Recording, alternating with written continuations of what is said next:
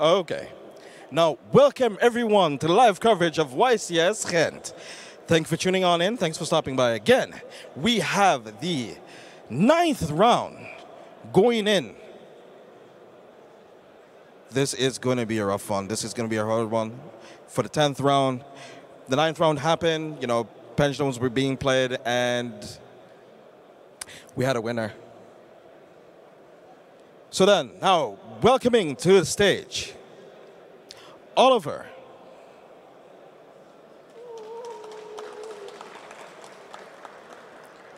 What up, man? How you doing? How you feeling? Yeah, I'm feeling fine. I'm a little bit ill, but it's okay. Ah, okay, so you had a bit of tea, and hopefully you're feeling a bit better for the match. Ah, okay, that's good. So then, you know, going to this event, thinking to yourself, oh, I need to play 11 rounds of this event. What is your preparation process? How do you get focused and how do you get prepared? Um, I had to prepare a lot um, because this season my goal is to top a YCS. So it's good that I'm sitting here. Okay, okay, that's pretty nifty. That's dope.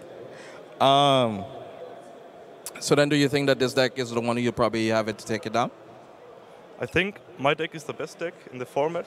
Um, I'm fine with it. All right, all right. Take a seat. We'll have to see what your competitor has to say about that. All right. And then, on the blue corner, we have Kevin. What up, Kevin? No, come in closer. It's okay. Come in. Come on in. Come on in. Nobody's going to hurt you. It's okay. Um, so more or less, I'm mirroring the same questions, the same questions same to after you. Like, how do you feel about the deck you brought into the event? I feel pretty good. It works pretty well. It worked pretty well before, so I hope the best.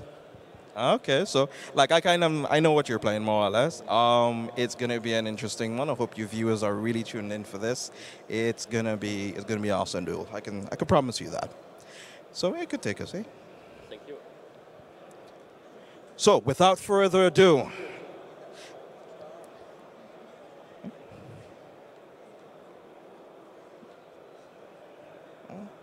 Without further ado, if the players are ready,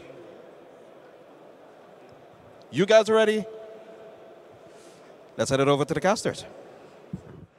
Hi guys, welcome to round 10. We've got a very interesting feature match lined up today. We've managed to pick out a SPYRAL deck on the Yep. top tables. And Kevin is really famous for the deck. He has played it at German, at all the YCSs basically. And also he has topped a regional with it last week. Ah, so, he's in good shape. Yes, so when is. JJ asks, are you confident with the deck? He's like, well, I've only been playing it for the last 100 years. of course I'm confident with the deck. And then on the other side of the table, we have Oliver. Yeah. More traditional choice of deck. yes, and also more traditional build of the deck. It's uh, Salamangreat, and he's running all the hand traps. All This- the hand traps except for the new one. Yeah, except for Nibiru or sh- uh, Dimension Shifter, which arguably is not the best card for that deck. Um, Dimension Shifter and Salamangre. Whoops. that's that's smart. Uh, but no, no Nibiru, and I mean Kevin has got a plan for the Nibiru, so he's got access to Knightmare Corruptor Iblee, so you can summon it off Mermaid, give it to your opponent, Yep. and then they can't Nibiru you. Uh, but the traditional hand traps that he's running, Veiler and uh, Veiler, Ghost, Ghost Belle and Ghost Ogre. Ogre, none of them stopped by Iblee, so No. pretty solid for him. yes, so I think the players should be ready. Uh, they're just swapping sides. Oh, there's popping swapping sides. Okay, so let's just take a look at the side deck while we are waiting. So Oliver is actually playing Anti-Spell Fragrance, a card that I haven't seen much of this weekend. Yeah, might be pretty good against SPYRAL because it's it's a combo deck. I mean, it runs a lot of monsters, but the spells they have are all really powerful. You're talking Monster Reborn, Reinforcement of the Army, One for One, Yeah. Foolish Burial, All the one-offs, all and the crazy the, uh, one-offs. the field spell, of course, SPYRAL Yeah. Resort. And uh, as I already said, the Salamangreat build is a bit more traditional. Like in the last format, anti-spell was also really popular in Salamangreat to count or the last last the format before the last The format. format before the last yeah, last where we format. had three Kagaris and Sky Striker was really really dominant. Um, people used to run the anti-spell fragrance to set it up with a war and then go heat Leo on the next turn to just not let your opponent enter the game. It's, uh, it's a good way of winning the game. Yeah, indeed. That is only one there. a really good way to win the game. And uh, now I think the players are ready. It does look like it to me. So let's just go over. All oh right. dear. Do you see that? Wow, that's a triple copy of Ash Blossom and Joy Spring. Triple, That's triple. Well, I mean, he gets to use, you know, at least one of them. Every Ash turn. Blossom being one of the most powerful cards in Salamangre in particular. And he has the drone, which is going to stack Oh the deck. so no. he knows what he's going to play against, and I think that Oliver is not going to see any kind of plays in the next three turns. That's nasty. That's a Foxy and Ogre. I think Ogre is going to see the top, or Roar maybe. It was one of the nastiest things how he's put the rage, uh, the Roar to the top. Yeah. Fairly reasonable because the counter trap's not going to do very much on, you know, after you've Yeah. set up all your combos. So reveal the top This card. is just brutal.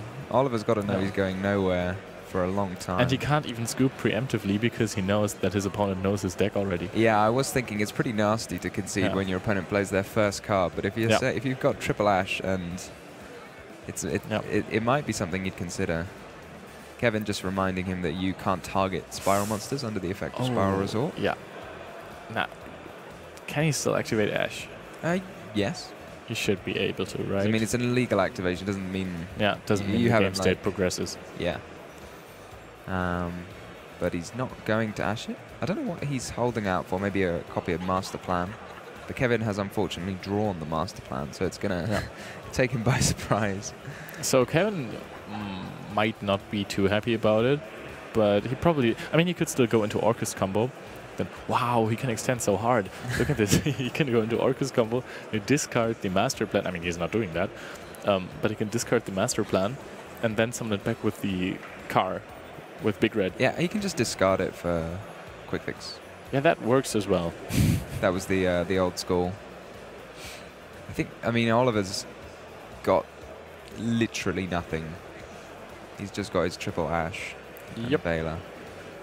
Um, Kevin now knows the Veiler is coming, but I mean, he's probably like, okay, And I mean, now Oliver knows that he is probably going to lose this one, and that his opponent knows his deck, so he might as well just watch what Kevin is playing. yeah, that's a nice thing because you you know like you see some SPYRAL cards, it might be pure SPYRAL, but might be something else. Yep. So it's yeah, it's it's heads up. Just see what board your opponent's going to set up. Yep. Because Kevin is likely going to set up. There's no reason like not to set up the most powerful boards you can. Um, so Oliver can see what he's got to prepare for in the next games. Even if, I mean, again, like when you're playing such a heavy combo deck, the games. I, d- I don't want to say this because it will obviously not come true, but games can be a way way quicker when you play a, like a heavy combo deck where you do all of your stuff on one turn and then it's kind of Yeah. you play a lot of like one turn games. Um, There we go, the classic old let's summon our unicorn and shuffle back the SPYRAL resort. I've only got one resort, Yeah. so I'll shuffle it back. and you've gotta search it out with the master plan, so unicorn Yeah. has to target your own resort. Standard SPYRAL combo stuff.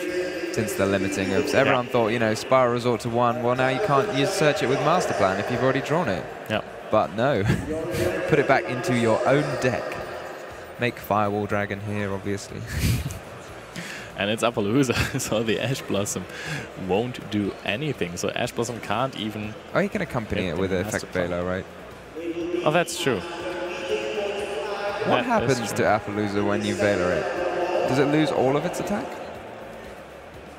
Kevin seems to think so he can just negate the Veiler. can it negate twice in the same chain I wouldn't know why it shouldn't.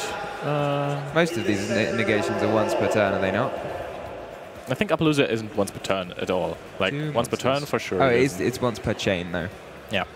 So you ash it, and then he responds with So Apollousa, and then you Veiler it. not like the Light and Darkness Dragon. because that one could be outplayed by activating two cards in the same chain. No, this one can as well. It says once Oh, per chain. Oh, so ah, okay, so it got negated. Okay, I missed that.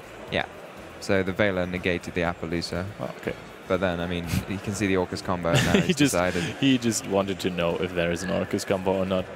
It's one thing I might have been. I mean, Oliver might see the the Knightmare, um, the Orcust Knightmare, and say, "Aha, he's just going to do an Orcust combo." Um, it's not guaranteed actually. So I have seen players search Orcust Knightmare just as a as a Knightmare monster to summon. Just use it in part of a combo, so you can use it to make, for example, Dracossack because it's level Yeah. seven. That's what he did at German Nationals. So it's not guaranteed Yep. that um, that you're playing all of the Orcust cards just because you searched one Orcust Knightmare. So it might be used for something else. So maybe a, a slightly premature Yep. concession from Oliver, but maybe I mean he it is correct in this case. There are more Orcust cards following, but not not guaranteed. So that was a pretty sharp first game. Pretty we've seen some pretty brutal draws for the Salamangreat deck so far. I mean, last last We've had last game yesterday, Max van Yeah. Iversale. two rounds of Salamangreat and yet to see a Sunlight Wolf hit the board. Yep. Or a Gazelle Resolve. Or a Gazelle Resolve, or uh, any. And the, we've seen a lone Balelynx, but he'd already drawn the Sanctuary when he summoned the Balelynx. And you still try to search because people, if we cast, always do they that. do. So, looking at the side decks, what do you what do you predict from Kevin? I'm predicting Nibiru because it's really strong versus Salamangreat if they combo off. Yeah. Uh, I think he's going to go for Cosmic Cyclone because it gets rid of the trap that can be searched, like the Rage or the Roar. the thing I found with Salamangreat is you could side almost anything Yep. because they do monsters and they do traps, and you can choose Yep. which one you think is more important. So you could do Nibiru, shut down all their monsters. You could do Mind Control, Yep. take their monsters. And Um, Kevin also cites like archetype cards. He cites SPYRAL Tough. SPYRAL Tough's one of them nice. People used to go second with it 'cause Yeah. it was a very nice control card. Got 1900 attack, normal summon it, threatened to pop a card. So you, it's a bit of a strange one because it's what you don't know how to respond to it necessarily, because it says target card, and then if you guess right on the top of the deck, and you might know, but if you guess right on the top of the deck, then it destroys it. So from your opponent, even if it's not always gonna destroy it if it actually resolved, you kind of have to negate it anyway. If Yeah. it targets your Salamangreat Roar or whatever, you might as well just negate it. So it does the job of destroying something, even if it's not always going to destroy something. Does it target? Yes. Okay. Um, and obviously, it's even more powerful when it's backed up with a SPYRAL Resort, because then it can't be targeted itself. Yeah. And then, And I mean, you get the valuable information of yes, you get to see the the top top card of the deck, and then the agent can come down knowing that it's going to hit. popping another card. And then on the flip side, we have some very hard to read cards, but they, they have a lot of crossover in their side deck. Imperial actually. Order, Nibiru, Twin Twisters, Mind Control, some scratched out cards, Anti-Spell Fragrance, and Artifact Lancea. So again, maybe he saw the Orcust cards and might pop in the Lancea. I would be surprised. I don't think I would side in Lancea because it doesn't do enough against the SPYRAL cards. No, I think. Or do these SPYRAL cards actually do a lot? Can he extra link with his extra deck? He can go. I mean, he's probably not going to go Unicorn. He doesn't play the Trigate. No, so that doesn't look like an extra link to me. So I think this looks like Apollousa with Orcust combo. And possibly a... Griffin. a Oh, he's playing- SPYRAL yeah. um, Sleeper. Yeah, and he plays a Curious Griffin combo. Yes, to search his Imperial Order. So yeah, maybe the anti-spell because you're going first and it's just a very powerful card going first. And maybe, I mean, I, would be surprised to see Nibiru. Oh, Look at this hand again. Go spell Ash Blossom Joy. You should not play Salamangreat on stream. Yeah, I think the, the crowd have seen it too. Yeah. Um, wow. So he's just going to shotgun that. I mean, it's it's it's somehow um, stuffed up.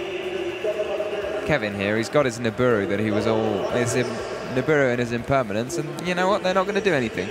No, but I think he's not too sad about it. he's not it. too sad to see his opponent pass. He can set the impermanence down, and he can use his two dangers. Yeah, he can set the impermanence in the same column as anti-spell, so he can turn it off on his turn if he wants. Um, again, it's really mean. If you don't draw your cards and you draw your anti-spell, then there's even less Yeah. cards you could top deck to get out of the situation. So Nibiru is being Oh, discarded, that's excellent for Kevin because that's a card he just didn't need. and he draws it into a snake. So this Orcust combo is kind of. I mean, I would say it's guaranteed, but there are three hand trips Oh, plus yeah. Phantazmay. So Do you think in Kevin's situation, um, you pop the anti spell with Phoenix. No, you you just forego link summoning. Because Oh. you see that Oliver's got nothing. He's not even gone so far as to set a monster. Yeah, there could be a Phantazmay. So yeah, Phantazmay is a card that you know summons itself, draws you more cards as well. So it it seems to me like he could. He's just gonna summon a load of dangers. I mean, he might even. I, I would be very heads up on his part if he could put on 8,000 damage without summoning um, a link monster, which is possible given the number of dangers he summoned. He's already got what 36 on board. Uh, he's still got the Orcust monster. So if possible, it'd be a very smart play from Kevin to try and put the 8,000 on board without summoning a Link Monster. Challenge his deck might not be capable of, but it's something to consider, right? Yep. But even so, I wouldn't be too... I, I, I would consider the play of just attacking with everything. Yeah, and I mean he has the impermanence as a backup. So He's got his own backup. You know, Yeah. the Nightmare Engrave isn't going to go anywhere. He can still use it next turn, or he can just summon a couple of Orcust monsters. Okay, so he